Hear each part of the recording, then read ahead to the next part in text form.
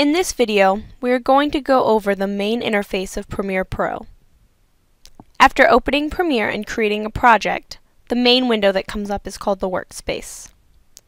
The workspace is divided into frames. Some of the frames have multiple panels, which appear as tabs. There are many ways to arrange the frames as workspaces, depending on what you want to do with Premiere. The one we will be using is called the Editing Workspace, which is the default option.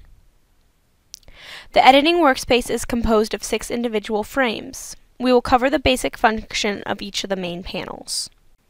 The upper left frame holds the source monitor. This panel lets you view the different media clips that you are editing. To see the other panels in this frame, click on one of the other tabs. The upper right frame holds the program monitor. This lets you watch the entire video project that you are working on. Unlike the source monitor, you cannot make changes to the media here.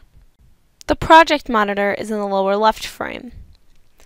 This lets you store the imported media used in your project and organize it using various bins.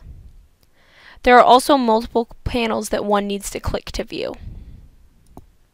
One of the bottom middle frames holds the toolbar. This is a quick way to select tools to use in other panels. The timeline is the other bottom middle frame. From top to bottom, the timeline shows the video, image, and audio elements of your project. From left to right, it shows the timing. And the bottom right frame shows the audio meters. These show the volume of the left and right audio channels for your project. If you ever lose a panel, you can go to the Windows menu to open it back up. Then click and drag the panel to the left or to the right to move it. If your workspace ever gets messed up to the point where you can't configure back to what it originally looked like, just go to Windows, Workspace, and Reset Current Workspace. It should take it back to what it originally looked like. When you hover over the edge of a panel, a double-sided arrow should appear.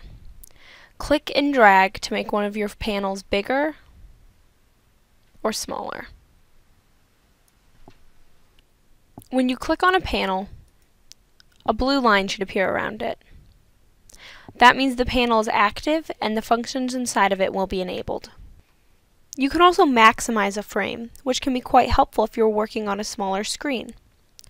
Just select the frame and go up to Window, Maximize Frame. Then, when you are ready to go back to the original size, go to Window, Restore Frame Size.